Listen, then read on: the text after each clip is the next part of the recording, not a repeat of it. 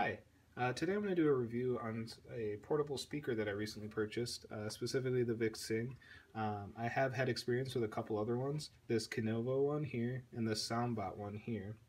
Uh, the first one I actually got was this um, Kinivo one. This was back in September 2013.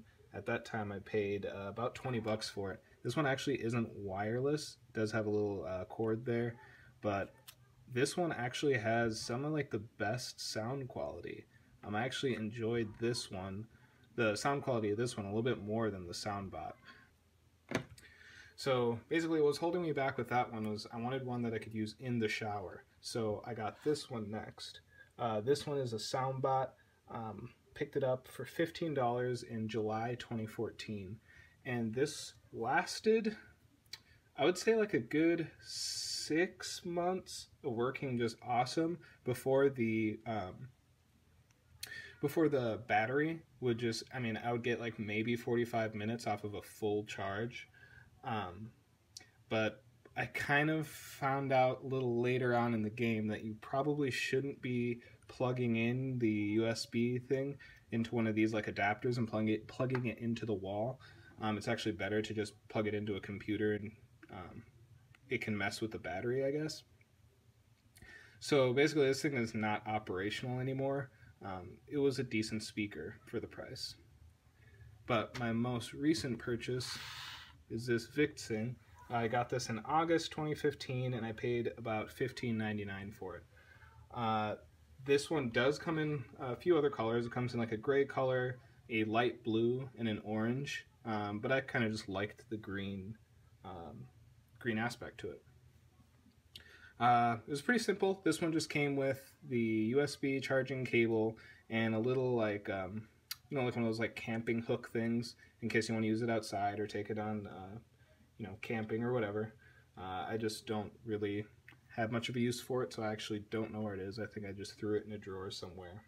So let's talk a little bit about what these different buttons do, and I think the best way to kind of showcase this is going to be just to hook it up to my iPad. So let's give that a go. So first off, you got this power button here. Power on. You'll hear that sound. Bring my iPad over. That connected pretty quick. I can just select one of these artists.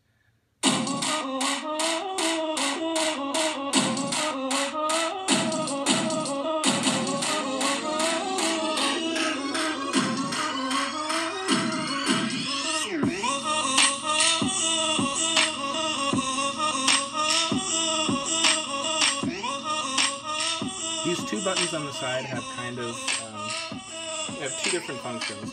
So this one will be your um, previous track or restart track.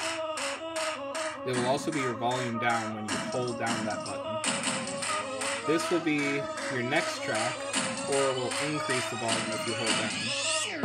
And if you keep holding on to it, eventually it'll beep. That means it's max volume.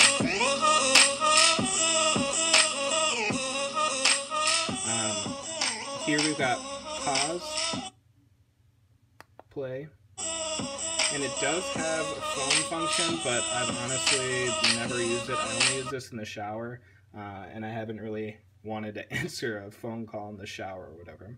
So uh, if I do ever use that, I will throw something in a description or something. Um, I did, after like a couple weeks, some of the paint is coming off of here on the front of the speaker. But other than that, this thing has been super durable. I have dropped it a couple times. Um, it's uh, the first time I tried to suction it to my wall, I, it was just being dumb and it fell. I thought it would, I, I thought it was gone, but it actually ended up working out fine. Charging time on this has been awesome. It's been like, I'd say I'd, let it sit for like 45 minutes and it's pretty much fully charged each time I've tried. I mean, I don't watch it too closely, but I do get um, way better battery life than what I was getting on this Soundbot. Like I said, on this Soundbot, uh, at mm, towards the end of its life, I was getting like 45 minutes maybe. With this speaker, they say you can get about six hours of playtime if you're playing at 70% volume. Um, I actually can't even listen to this thing on a 100% volume and like blasts my eardrums when I'm in the shower. So I'm usually right around 70%, I'd say, and six hours seems pretty accurate to me. That that's like one of my favorite things about this thing is I rarely have to charge it. So to kind of wrap this up, this speaker, Kinivo, great, but not Bluetooth, and I needed Bluetooth for the shower. Soundbot was okay when I when it worked. Now it's completely dead, so I needed a new speaker. VicTsing for $15, I really couldn't ask for more. This does everything I need it to and more. If I were to need another shower speaker, I'd probably just pick up another one of these guys. So that's just kind of my quick review on the VicTsing um, Bluetooth shower speaker. Great sound quality, uh, great design, buttons are really responsive, great battery life, if I already said that. Um, honestly, just no complaints. Check it out.